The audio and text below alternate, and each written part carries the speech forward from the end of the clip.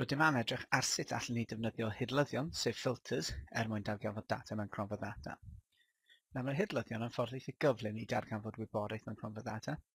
Yr ochr negyddol o hidlyddion yw ni ellech chi arbed nhw er mwyn ei ddefnyddio eto yn y dyfodol. Ta beth maen nhw werth dysgu am, a i ddechrau cyn i ni edrych ar sut i wneud e o fewn Access, awn ni dangos enghraifft byd go iawn o sut mae hidlyddion yn cael ei defnyddio mewn rhywbeth efallai rydych wedi weld o blaen. Nawr, mi fam agor amazon.co.uk a rydw i'n chwilio am monitor o fewn um, yr system chwilio yma. Nawr, efallai chi wedi sylweddoli nawr ar ochr chwith yma, mae yna nifer o opsiynau. A'r bwriad o'r rein yw troi roi tic mewn un o'r bocsys yma a allan ni cael gwared o popeth arall heblaw am nwyddau sy'n matcho be ni wedi ticio. Er enghraifft, os ni'n gwasgu o fewn rhywun sy'n dweud LG Electronics, Mae hon ddim ond nawr yn fynd i dangos ni monitors sydd wedi cael eu creu gan LG. Allai wneud yr un fath o beth am maint y sgrin ac yn y blaen. So y system yw, ni'n ticio box a mae'n cael gwared o popeth arall sydd ddim yn matcho yr hyn ni di ticio. Felly mae'n really tebyg o fewn Microsoft Access. Os dwi'n agor lan y cronfa data rygbi, be allwn ni wneud yw cael gwared o cofnodion trwy gwasgu ar y saith drws nesaf i unrhyw un o'r meisydd yma. So awn ni dewis safle am nawr. So os ni'n gwasgu ar y saith, ni'n nawr gallu weld mae da ni blychau tic yma allan ni ticio neu dad ticio er mwyn ei ddangos. Ffordd mwy o cyflym i wneud hyn dwi'n ffeindio yn bersonol yw trwy gwasgu ar select all i cael gwared o bopeth a wedyn allech chi dim ond rhoi tic mewn yr opsiynau rydych chi eisiau cadw.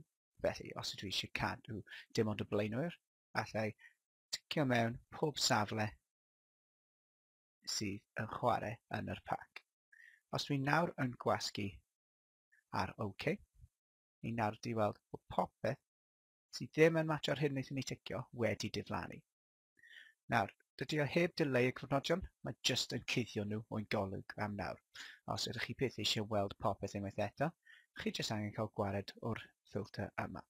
Mae'r button toggle filter yn garw chi wneud yna, a mae nawr gennym ni'r holl cromfa ddata nôl unwaith eto. Nawr, pryd ni'n trio hidlo data rhifol, mae ambell problem yn codi. Er enghraifft, os ydw i'n trio wneud e ar daldra, gallu bod mae yna nifer fawr o blychau tic yma. Nawr, mae'n bosib mewn cronfa ddata go iawn, bydd na canoedd neu filoedd o gofnodion gyda wahanol gwerthaidd mewn un maes, felly mae ticio pob un o'r ein yn fynd i bod yn proses eitha hirwyntog. Felly, allwn ni defnyddio'r opsiwn Number Filters yn lle sydd yn fynd i gad ni edrych am ystod o rifau sy'n mwy na neu llai na gwerth penodol. Felly, os dwi eisiau ffeindio pawb sydd yn fwy na 175 er enghraifft, dwi'n mynd mewn i number filters greater than, a os ni'n darllen y brawddeg, mae'n dweud taldra is greater than or equal to, a wedyn ni'n ysgrifennu mewn y rhif dyn ni eisiau. So os ni eisiau pobl sy'n mwy na 175, bydd rhaid i ni rhoi mewn un cant a saith deg chwech, gan fod y brawddeg yma'n dweud greater than or equal to. Fi nawr yn gwasgu OK. A fi'n gallu weld fod pob person yma nawr yn 176 neu'n fwy.